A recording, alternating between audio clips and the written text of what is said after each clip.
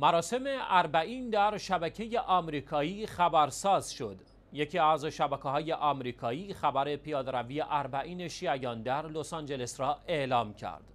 به نقل از شبکه های اجتماعی در فیلم منتشره از شبکه تلویزیونی اخبار بین الملل آمریکا گوینده این شبکه خبر پیادروی اربعین در لس آنجلس را اینگونه برای مخاطبان اعلام می کند راهپیمایی اربعین جمعه 19 آبان ساعت 12 ظهر به وقت محلی از مسجد از زهرا سلام الله علیها در شهر لس آنجلس آغاز خواهد شد. وی می‌افزاید شرکت کنندگان در پیاده روی اربعین بنرهایی با موضوع امام حسین علیه السلام و محکومیت تروریسم با خود همراه خواهند داشت.